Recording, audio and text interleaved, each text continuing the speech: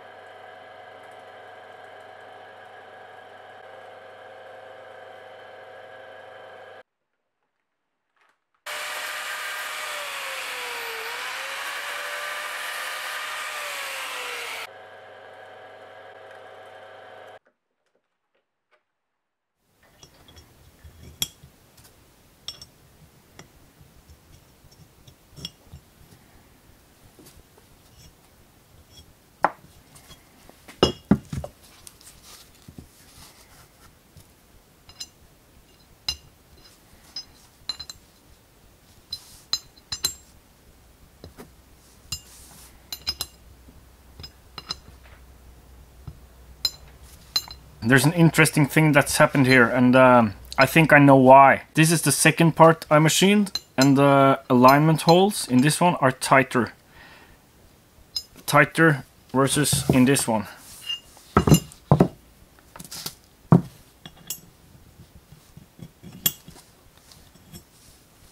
These were machined with the exact same settings and the same tool, but they're tighter. If you remember a few videos back, this exact thing happened with my uh, my dyno bearing block jack shaft holder thing, where the bearing fit in this hole is press fit, and in this one it's a sliding fit. Machined with the exact same settings and the same tool. What I think happened is this one, I pretty much started machining just like 10 minutes after I went out into the garage and it was cold in here. So the aluminium was cold, colder. than with this one, because this one I had spent already spent a few hours in here doing like cleaning stuff and doing other things other things so I think the difference and I'm pretty sure that's what happened with this one too so I think that's um, and also the same thing with the bore 40.05 39.95 millimeters exact same tool, exact same settings. It must be the, the temperature of the raw stock while machining, I think. It's not tool wear, because then it would be the other way around. I think it's uh, it's the temperature. So that's something to to take into account when machining. Probably something people do, real machinists. So we'll just heat this one up and uh, they should slide in. Or maybe they will need some slight persuasion.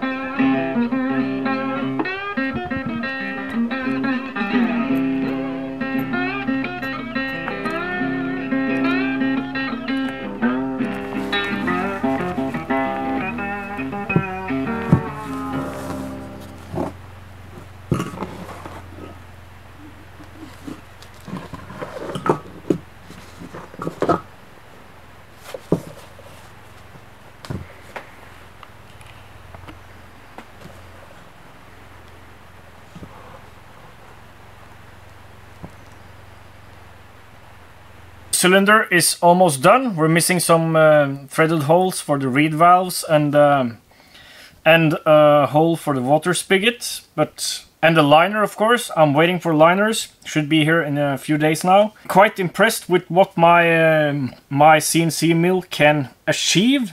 The exhaust port divider in the upper part is slightly recessed from the bore and that's I think that I used uh, a pocket operation to smooth the floor or the actually roof cause the because um, the tool path for um, for the other half uh, left kind of a kind of a little ridge there.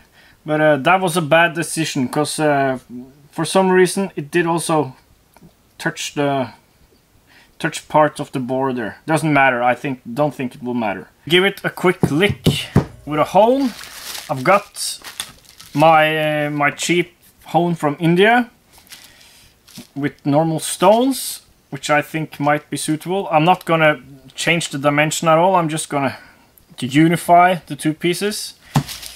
I've also got my uh, my Varing diamond hone which I uh, which was given to me by Varing for that's a while ago and I haven't really used it yet. I'm really looking forward to using this to take this liner to dimension. But uh, it's a really nice quality piece. Really nice. But I don't think...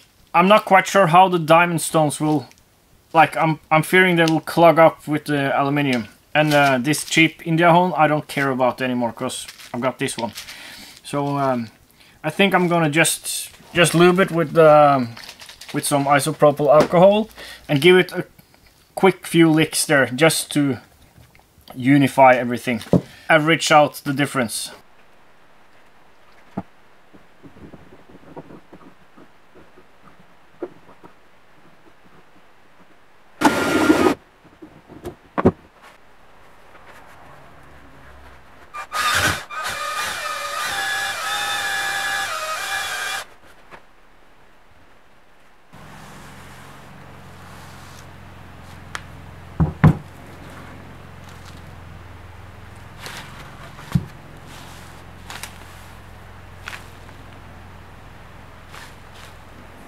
Thanks for watching. I've ordered some more material to make that um, the rotary valve box thing. The rotary valve is being made, by the way, by uh, a guy in Sweden. More on that later. And uh, yeah, we'll just move along as quickly as possible. I I have the material for um, for machining the case halves. Try to move as fast as possible now, but I'm also trying to be conscious about things that might be better if I do it in a different way. You know, that's why I'm holding back with the cases, because I'm not entirely sure about mounting points and stuff. This is a prototype. It's not supposed to be perfect. It's supposed to be a test of the concept. Thanks for watching.